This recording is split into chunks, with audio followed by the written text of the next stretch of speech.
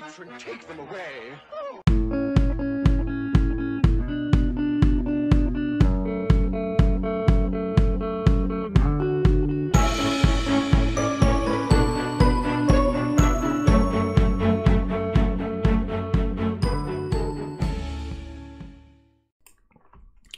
Okay, guys, hope you're well. Um, following on from the chitter chatter in the Discord regards um, Darwinex and Propping, etc.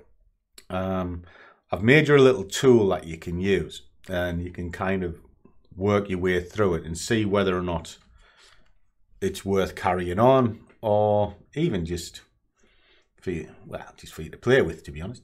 Um, when you look at Darwinex, Darwin X is based like an investment fund similar to Vanguard. It's looking for 10 15% a year. And that growth would then be sold out to investors who are just looking for safe money. That's the essence of what Darwin is. And it's almost similar to my Vanguard that you see me build up. Now, I'll, I'll show you that.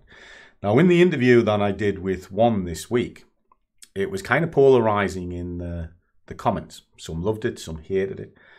But I think some missed the essence of what they're trying to achieve. Automatically, people will kick off. If they don't like something, they just dismiss it and they have a go and they say it's this and it's that and I'm doing this and I'm doing that. There's a simple answer to everything. You always have a choice. You don't have to use it. If you don't want to use it, don't use it. You don't like certain broker, use a different broker. Don't like the prop industry, don't use the prop industry. Don't like what you watch, change the channel. Common sense. Now, I asked one what he thought of my platform, and he showed it. Um, well, well, here. I'm still getting my head round this. I really am. The trading side is fine. I, I trade the same day in day out, and, I, and I'm Yeah. not really bothered if somebody likes it or they don't. Yeah. Because I stage backwards into a trade and then move it forward. It- It's how I always do it, and I work on risk profiles, and it, it's essentially ten percent a week across five days, which is two percent a day across two trades, which is one percent a trade. Which That's is roughly solid, how I because work a that's- that's- profile.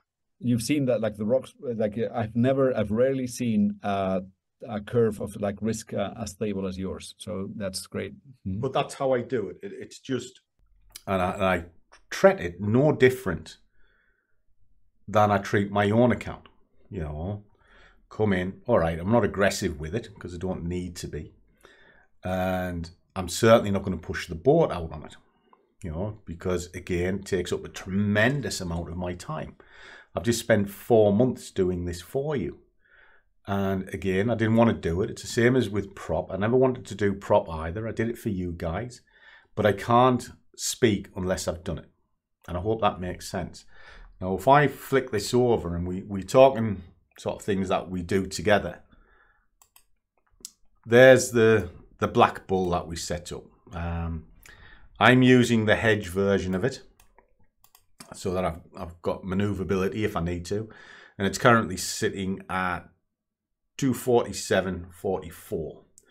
Now, if I go into the history and I take this back to when we started it, which was, it was about the 9th of January, wasn't it? Was it? I think, I think that's it. There it is there. Okay. So it's steady growth all the way down. Boom, boom, boom, boom, boom. Steady. Have some bad days, have some good days.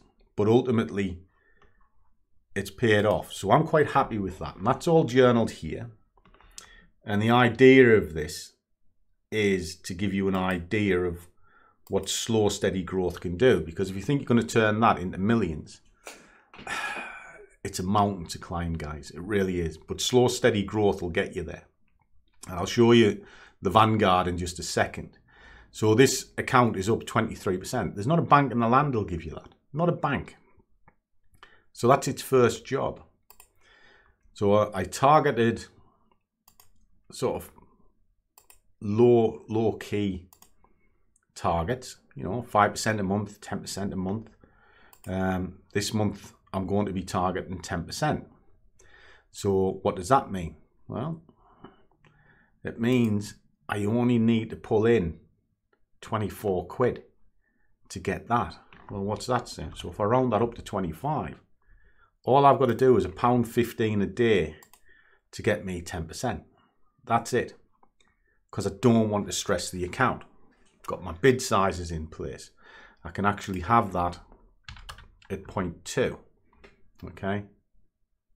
Because max is 25. It's a MT5 platform, goes up in increments of 10. So that's me set for the month. So what does slow, steady growth do? Well, you've seen me set up an account about 18 months ago. Maybe it's, maybe it's a bit longer. Where I built one of these up, bought a prop, and then put the prop into the Vanguard for it to grow. Well, there's the Vanguard. It's growing quite well. It's currently got nearly three grand's worth of profit in it. This will generate 9 to 11% a year. And I'll be quite happy with that because it's a 10 year horizon. And the principle is very simple it's following an all cap. In other words, buy the haystack, not the needle. I am also following the S&P 500 because historically it has pulled in around 10% a year for the last 30 years. So I'll follow that, but it is at a topping point. So I sold everything out. So I'm not losing any profit and then I'll keep buying back into it. Nice and simple. The emerging markets, I just dumped a little bit of money in there in case it explodes. If it doesn't, it doesn't really matter because it's just going to let that grow. And then I've got two bond pots that'll smooth it out because bonds are historically flatline. Now that takes me into Darwin. Now with Darwin, asked me to do it.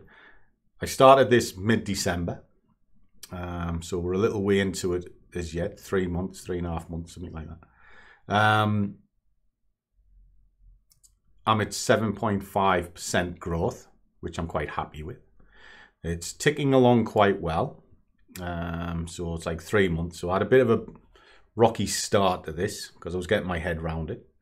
And since then, I found my feet. So I'm happy with that. And I was rated to get seeded. And I'm currently seeded at 25,000. The month has just ended. And it's going to rate in at uh, 30,000. So I've got 30,000 for this month getting added to it. Now I said I'd have a little uh, tool. So on average, so if we just look at this, so that's 25,000 and I'm just going to assume that I continue with the basic figures and we'll put in what I've already got. Oh, fucking hell. Wishful thinking, eh? Wishful thinking, guys. there we go. Um, 30,000 and we'll just drop that back to 3%. So my quarter payment would be 745. Now, a lot of people sniff at that.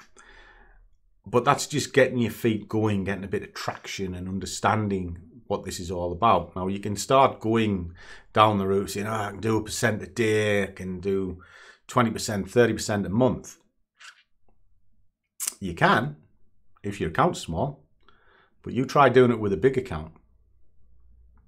It's not possible, guy. Um, it really isn't possible. It gets really hard the higher you go up the tree. Now, if you've done it, more power to you. But I'm telling you, it's it's really hard. But if you set your stall out sensibly, then you'll be fine. Now, let's just go back to that rating calculator just a second. Now, let's just say you pull in 5% a month, which seems to get banded around quite a bit. You'll get 40k payments. All right. So just pull that calculator back up. So that's 40, 40k. Okay. All right. And we're going to assume that it is 5% per month because you would need that to maintain it. Well, now you're getting 1800 as your payment. Okay.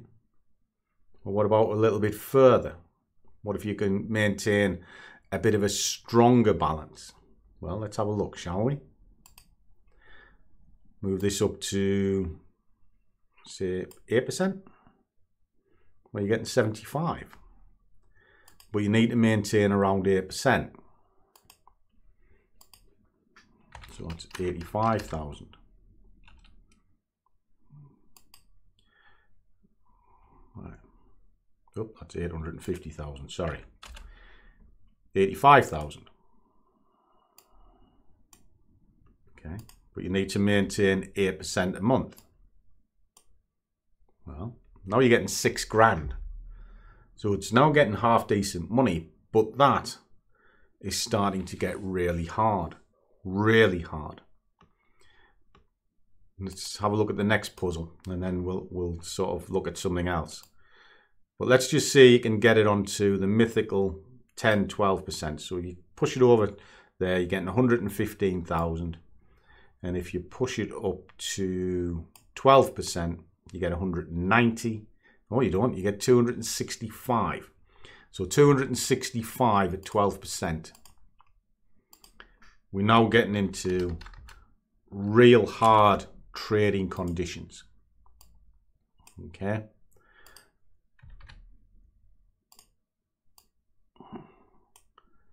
Right. So you now get just off your seed allocations, if you can do 12% a month, they're going to pay you thick end of 10 grand a month. All right. That's not to be sniffed at. Right. But I do think that is really hard. So what we're going to do is I'm going to take this back over on itself. Current allocations are roughly 30,000 for below 5% a month. Okay.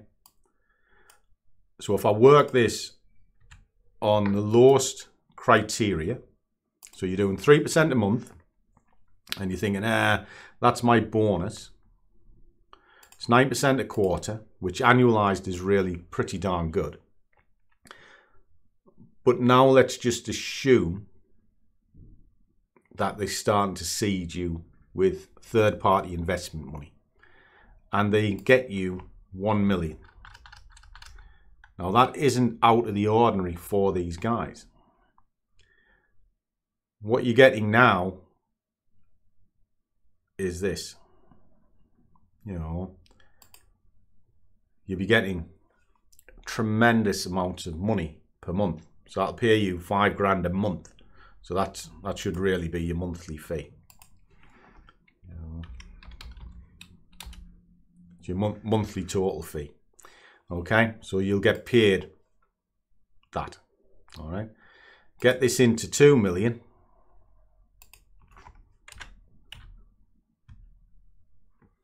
You're now getting 10 grand a month off doing just 3%.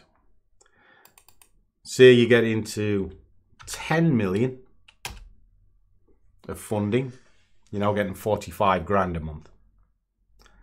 So really, this isn't as difficult as you think. And the way it's worked out is that that's the fee because you get 15% maintenance fee on, on that. And it would just be these divided by three, you know, very, very simple. Um, 45k. So where's, where am I going with this calculator? Um, like I say, I'll put it in the tools in the Discord for you to have. It'll also work out your wages as you go on anyway. So you can put your gains in and you can actually see what you're earning. But what I'm driving at is slow, steady wins the race. It always will win the race. If you're looking for boom and bust, you will definitely get boom and bust. Now, if, as an advice for working on the prop, I'll do a whiteboard Wednesday on prop this week. Um, if you've got any questions, drop it below and I'll try and answer them. The prop industry's marketing is shocking. It needs to be regulated. It needs to be pulled into line because it is like the Wild West. I spoke with a company this week who wanted me to promote them and I turned them down because they were promoting one day passing. Pass it in one day by doubling your account in one day. It is ludicrous, absolutely ludicrous. And this is why the regulators have a shining light. Now, if you look at the prop industry based on its drawdown and using the account balance as buying power, there's nothing wrong with it. as long as you stick to the rules. And the rules are whatever they lay out. There might be a lot limit. There could be a time factor limit of not trading. In other words, you if you don't trade within 21 days, they'll just assume you're not using the account and close it. But there are workarounds. You just get 10p, open and close straight away. It resets the clock. You just got to follow the rules, guys. And a lot of you don't. You take shortcuts. And that's why there's arguments. Just the thought of a fat man on having a cup of coffee. And I just wanted to do this for you guys in the Discord and give you a few of my thoughts. So as always, trade well, keep your risk managed, but above all, do what you love, and the money will follow. See you on the next one.